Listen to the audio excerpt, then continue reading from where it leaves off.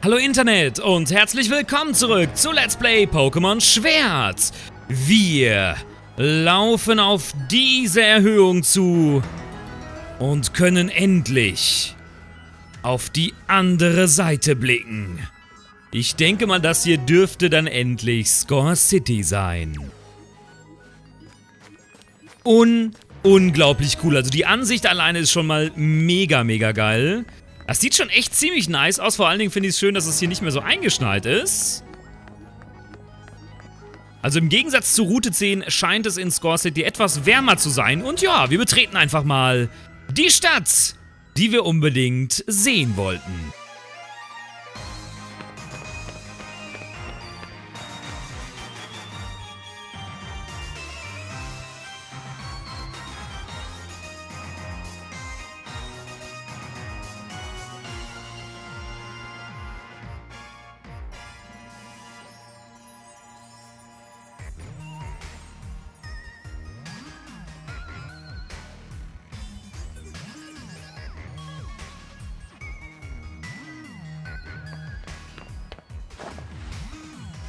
Wir sind wirklich hier, Score City. Hier passiert es. Hier wird die Legende von Hop in die Geschichte eingehen.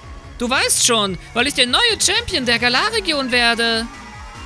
Ich mache mich jetzt schnurstracks auf zum Stadion. Jetzt wird richtig rangeklotzt. Wir sehen uns dann beim Score-Stadion, Huxel. Bis dann.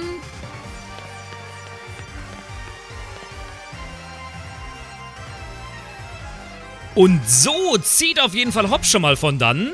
Ich würde sagen, ähm, wir schauen uns in diesem Part aber lediglich die Stadt an und beginnen den Arena-Kampf noch nicht.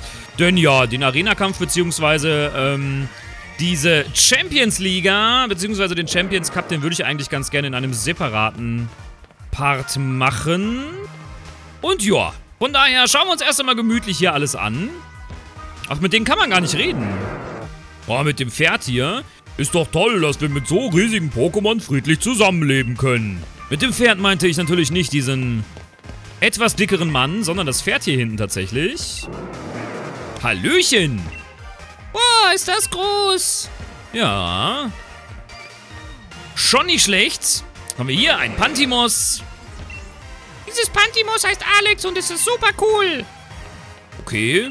Mein Pantimos ist auch ziemlich cool. Heißt Mr. Wie habe ich es nochmal genannt? Mr. Mime und Mr. Rhyme oder so, glaube ich, meine beiden. Ich knipse so viele Fotos, wie ich kann. Solche Schnappschüsse sind für mich wie kleine Glücksmomente in Konserven. Aha. Ja, warum nicht einen Moment konservieren? Verlieren gehört zum Leben dazu. Wichtig ist, dass man wieder aufsteht. Was haben wir denn hier vorne für ein Gebäude eigentlich? Ist das ein... Ist das ein Bahnhof? Naja. Die Stadt ist so groß, ich muss auf die Karte gucken, sagte Schmädel. Trainer lieben ein Glumanda, bis es sich irgendwann entwickelt. So wird eure Bindung stärker. Hä? Trainer lieber? Ach nein, trainier lieber ein Glumanda. Ich habe Trainer lieben ein Glumanda gelesen. Trainier lieber ein Glumanda, bis es sich irgendwann entwickelt. So wird eure Bindung stärker. Naja, das ist ja ungefähr dasselbe von der äh, Bedeutung. Ich will auch bei der Arena Challenge mitmachen mit einem Glurak. Ja, wenn wir doch nur ein Glurak hätten. Wir haben leider keins. Wir haben noch nicht mal ein Glumanda. Was ist das denn hier? Ist das ein Einkaufszentrum? Ein Riesenrad, puh. Ich hab's doch nicht so mit Höhen. Ich will eine Rundreise durch die ganze Galar-Region machen. Was gibt's da Besseres, als ins Riesenrad zu steigen? Ah, warum das denn? Ja, wahrscheinlich, wenn man sich so ein bisschen die Galar-Region dann anschauen kann von oben. Score City ist so riesig. Dank der Monorail und den Flugtaxis kann man sich aber zum Glück einwandfrei zurechtfinden. Oh, hier kann man gar nicht rein. Es ist, oder ist es mehr so ein Tourismus-Informationsgedöns hier? Manche Pokémon lieben die Gleise und sorgen bisweilen für unterhaltsamen Ärger. Nee, es ist doch ein Bahnhof. Möchtest du mit dem Zug fahren? Ah, es ist ein Bahnhof, okay. Hatte irgendwie so ein bisschen, so ein bisschen Einkaufscenter-Charakter hat es ja schon hier. Willkommen beim Pokémon-Supermarkt. Naja, aber die ganzen Sachen haben wir ja auch schon. Gibt's hier noch einen zweiten Händler? Nö. Hallöchen! Ein Micro? Das Micro möchte uns aber nichts verkaufen. Was ist denn hier? Hier entlang geht es zu einer der berühmten Monorail-Haltestellen von Score City. Die Monorail dreht sich immerzu im Kreise um Score City. Einfach toll. Dreht sich nicht im Kreise, sondern dreht Kreise um Scar City. Aber kann man denn mit der Monorail fahren?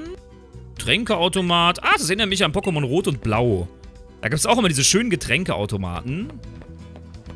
Was ist hier? Was zu essen vielleicht? Es kommen so viele Touristen nach Score City. Da ist es wichtig, dass ich für et et etwas für jeden Geschmack habe. Aber kann ich nichts bei dir kaufen, Kollege? Nüchte?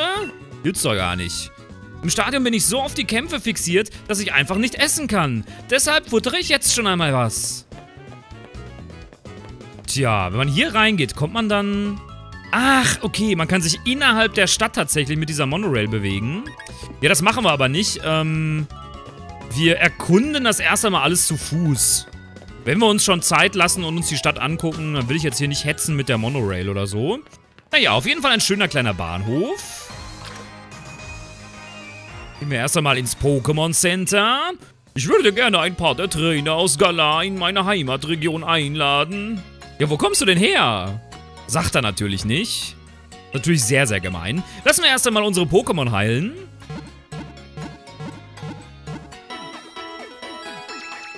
Unser schönes kleines Pokémon-Team. Äh, kann man hier irgendwas Besonderes kaufen?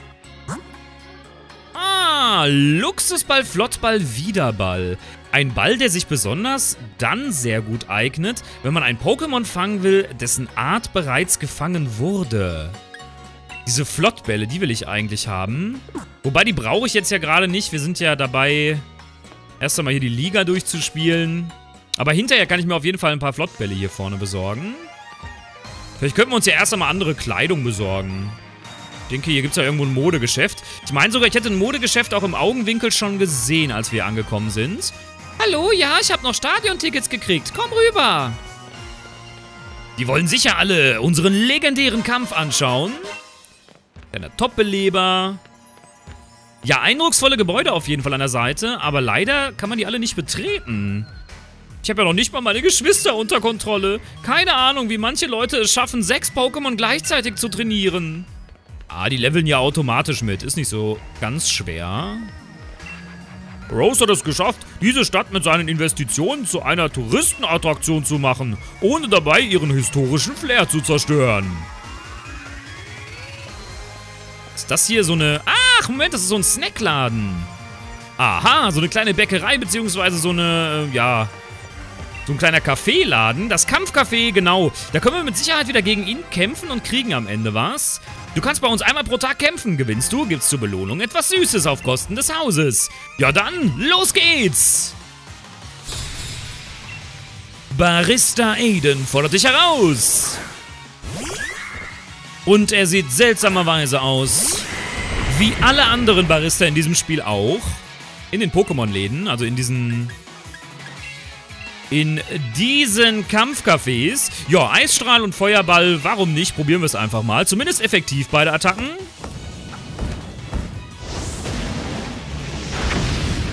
Jo, und das Pokusan hat es auch schon hinter sich gebracht.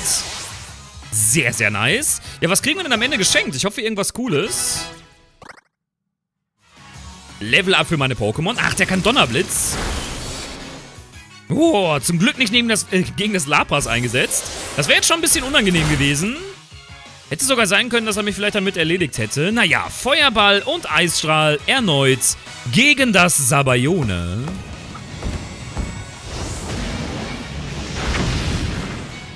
Ha. Das war ja gar nicht mal so spannend. Den haben wir direkt auf die Bretter geschickt. Giftzwerg ist nochmal aufgelevelt und Aiden wurde besiegt. Hey, na, wie bist du mit der schweren, bitteren Note dieses Kampfes zurechtgekommen? Ehrlicherweise ganz gut. Der Kampf war so prickelnd wie ein Glas Sana Sanana-Saft. Hier kommt das süße Vergnügen, das ich dir versprochen hatte. Du erhältst ein Zuckerkleeblatt. Zuckerkleeblatt. Zuckerwerk in Form eines Kleeblattes. Gibt man es Hokomehl zu tragen, dreht es sich vor Freude im Kreis. Tja.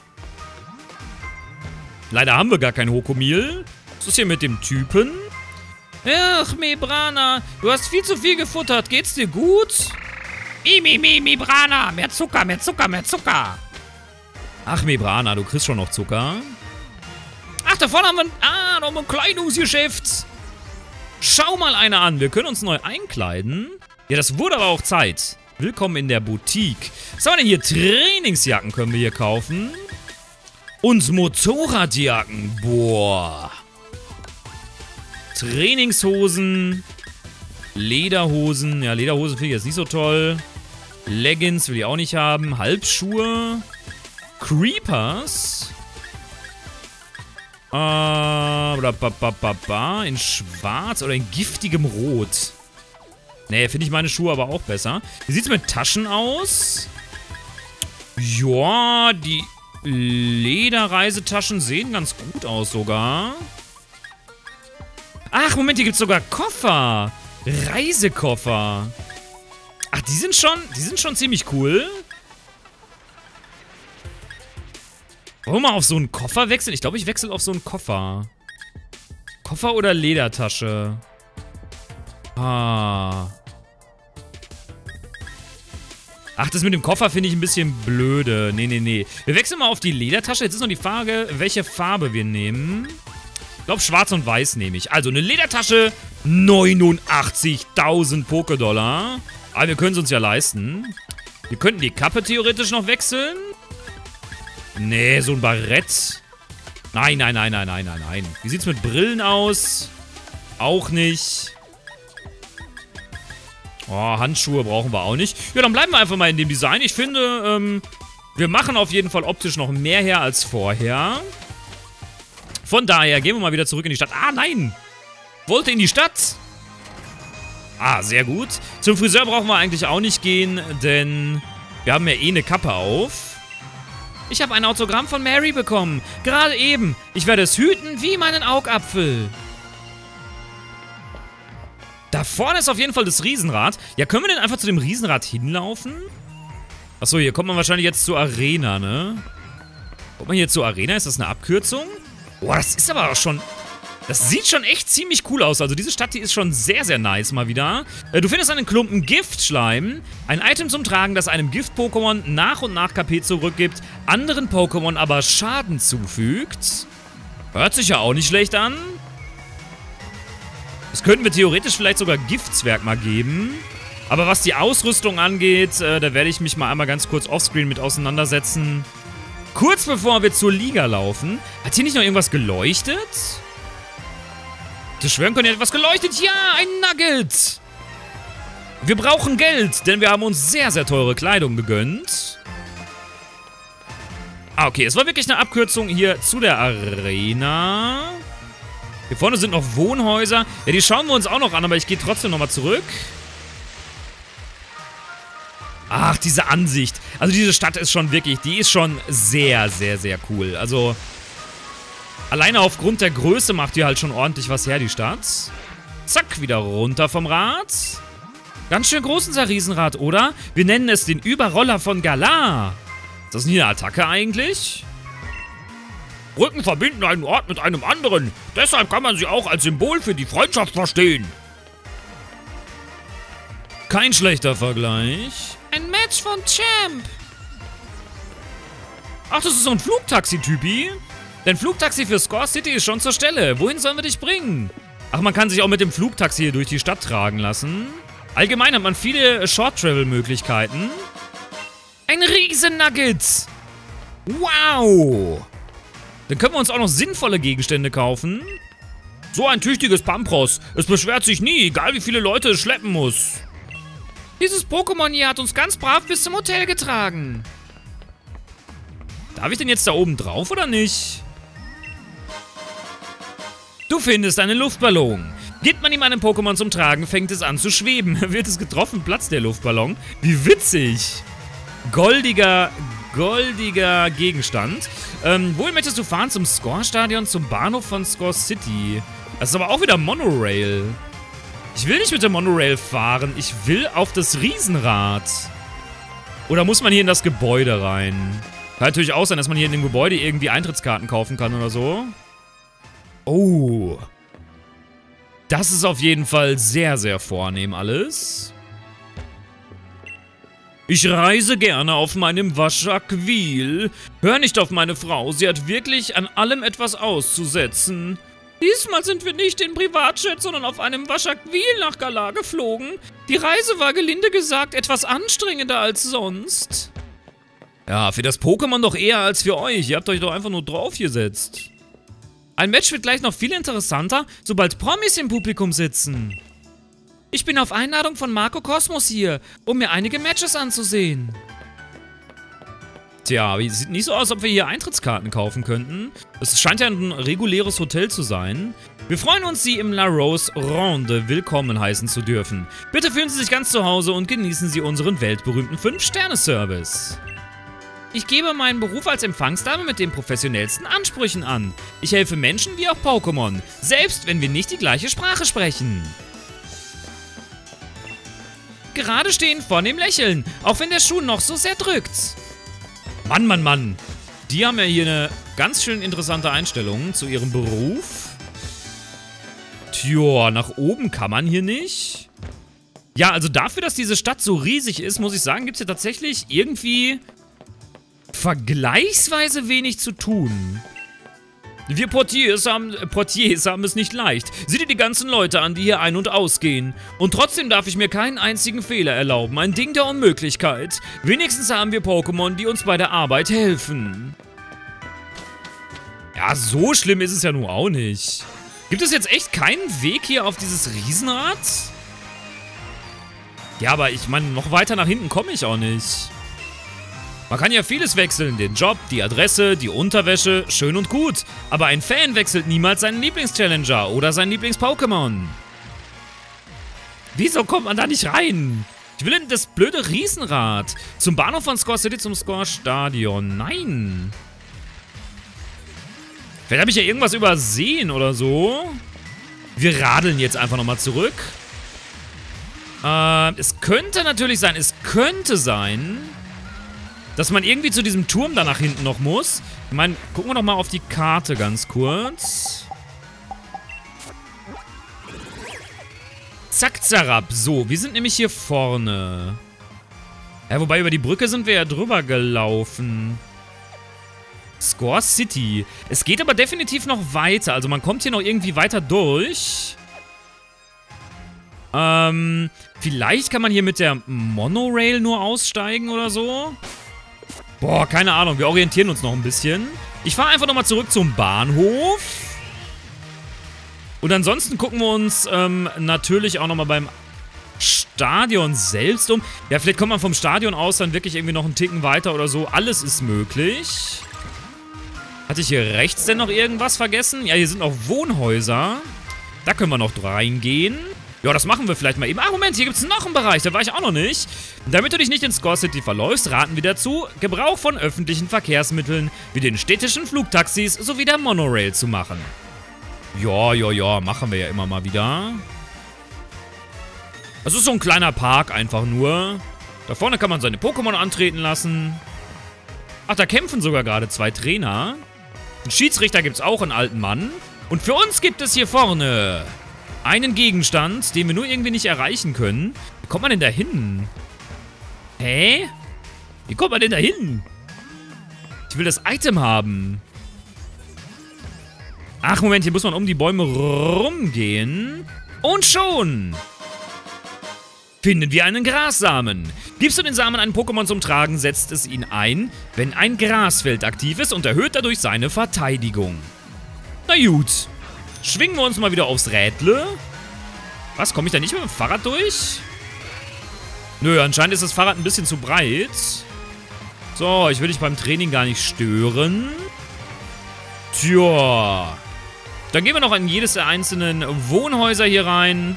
Sind ja ein paar mehr. Da können wir auch erstmal gucken, ob da irgendwelche interessanten Personen sitzen. Wenn ich es schaffe, beim Finale auf dem großen Monitor im Stadion zu erscheinen, wird das mein weltweiter Durchbruch. Also offensichtlich eine Künstlerin oder ähnliches. Oh, hier sind wirklich sehr, sehr viele Wohnungen. Ich denke, dass sich ein Pokémon erst dann richtig entwickelt, wenn es mit Menschen zusammenlebt und viele neue Freunde findet. Ansichtssache. Boah, sind das viele Wohnungen. Manometer. Es gibt immer mehr Trainer, die den Champ kämpfen sehen und dadurch richtig angespornt werden. Das macht die Kämpfe viel aufregender. Ja, mit deiner Frau rede ich jetzt aber nicht. Das war jetzt endlich die letzte Wohnung. Hallöchen! Meine Eltern arbeiten beide als Liga-Angestellte. Deswegen sind sie nie zu Hause, wenn der Champion kämpft. Und ich langweile mich hier. Mit dem Wommel zusammen. Wommelinchen. Wommel, Brommel, Schlobbel, was auch immer. War ich hier schon drin? Ach, Moment, hier war ich schon drin. Ja, ich komme schon durcheinander, weil das hier so viele Wohnungen sind. Ich hätte mal von unten nach oben losgehen sollen. Hm, ich habe keine Zeit mehr, alle Bücher im Regal nochmal zu lesen. Deswegen erfreue ich mich stattdessen an den Erinnerungen, die hochkommen, wenn ich mir die Buchrücken ansehe. Sehr gut. Warum lesen, wenn man sich auch einfach die Buchrücken anschauen kann? Ein Künstler.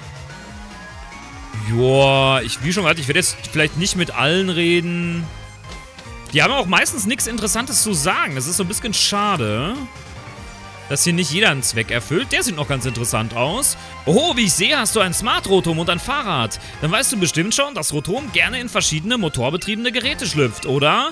Wenn du wissen willst, wie das funktioniert, dann kämpfe gegen mich und meine Rotom. Ja klar! Du wirst gleich Bauklötze staunen. Ich zeige dir, wie vielseitig Rotom sein kann. Liga-Angestellter C. Yamas fordert dich heraus. Und setzt sein Rotom ein. Oh, ein kleiner Rasenmäher. Ein Rotom-Rasenmäher. Ja, ist wirklich sehr vielseitig, die Rotom. Wir werden einfach mal mit dem Feuerball die ganze Zeit angreifen. Das scheint ja sehr effektiv zu sein. Und das Rotom direkt zu erledigen. Ja gut, ich meine Level 34. Braucht man sich jetzt nicht wundern, dass wir da gewinnen. Als nächstes wieder Rotom. Ich denke mal, wir werden einfach nur drei Rotom haben. Jetzt ist es eine Waschmaschine. Jetzt ist es aber auch nicht mehr sehr effektiv. Also der Typ ändert sich dann auch. Mit der Form. Da hat mir der kleine Rasenmäher ehrlich gesagt besser gefallen. Ja, Hydropumpe ist nämlich gar nicht mal so gut für uns und Hanna. Boah, was? Der hat fast Hanna erledigt. Los, nochmal Doppelkick.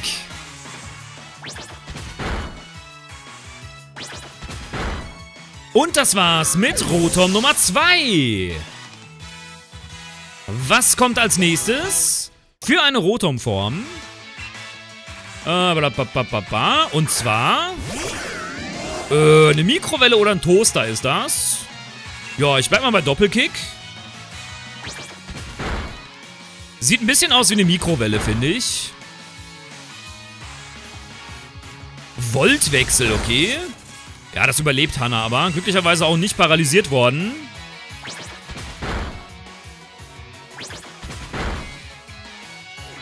Das war's mit Rotom.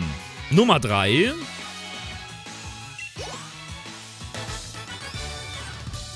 Aber Rotom ändert doch seinen Typ und seine Attacken, wenn es die Form wechselt. Ja, heißt aber nicht, dass die automatisch stärker sind als meine Pokémon.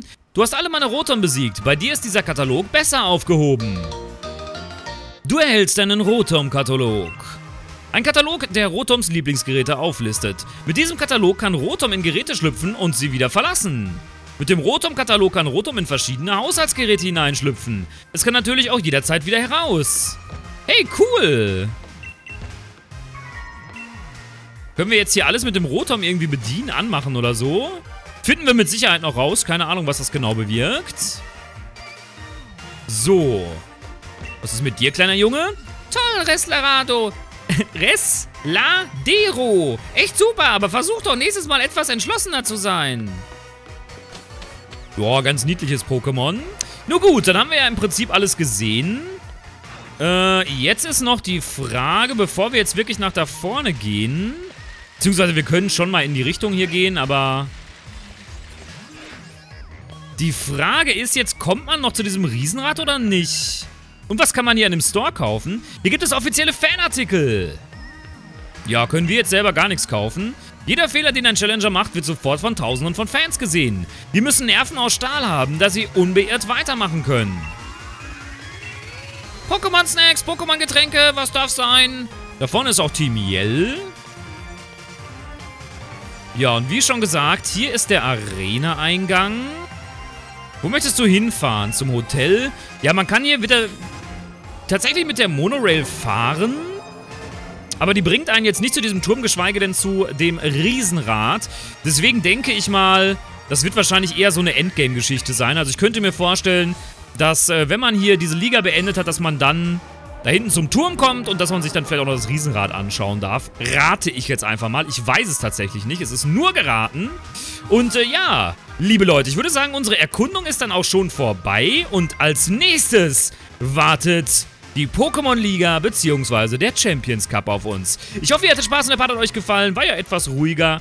Ähm, ja, so oder so, äh, lasst mir doch gerne ein Like und ein Abo da, wenn es euch gefallen hat. Und bis zum nächsten Mal. Euer Huxel. Ciao.